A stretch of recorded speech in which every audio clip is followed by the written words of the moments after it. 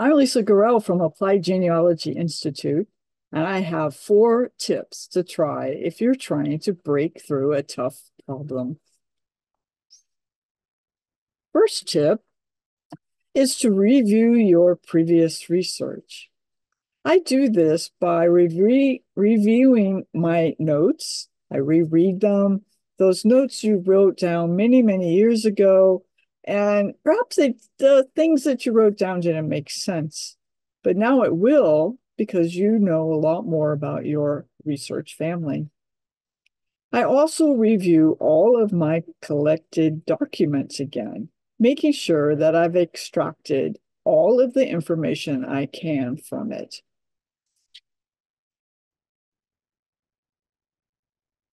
Second, reorganize your research. I try to create a timeline or I put the information into tables or spreadsheets.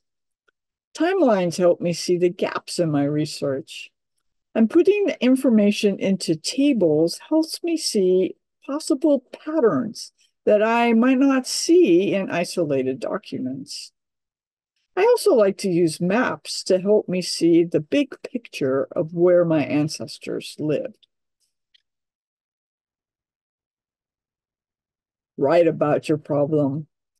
One of the best tools for solving difficult problems is to write about it.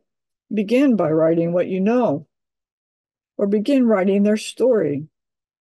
Soon you will see gaps in your knowledge about them, or maybe gaps in resources that you haven't used yet.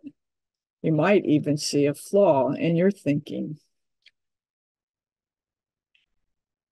And the last tip is perhaps you've been too focused on a single person.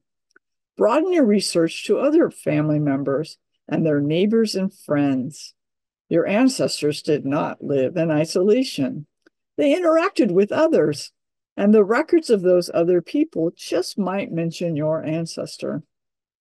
Keep track of the people mentioned in obituaries, those people who witness wills and deeds, and the neighbors on census records. Another way to broaden your research is to include neighboring counties and neighboring states if the county is on a border.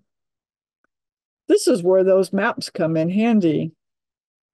And then lastly, you can broaden your research into new record groups that you have not used before. A great way to learn about those record groups is by reading reference materials, taking classes, or checking the FamilySearch Research Wiki or Cindy's List. So again, these four tips are review your previous research, reorganize your research, write about your problem, and broaden your research, those people, the places, and the records.